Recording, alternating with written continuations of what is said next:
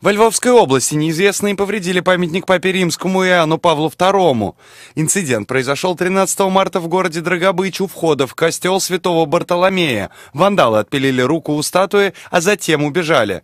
Вандализм и разрушение памятников стало на Украине распространенным явлением. Ранее во Львове неизвестные осквернили монумент славы советским воинам, вырвав из него несколько плит.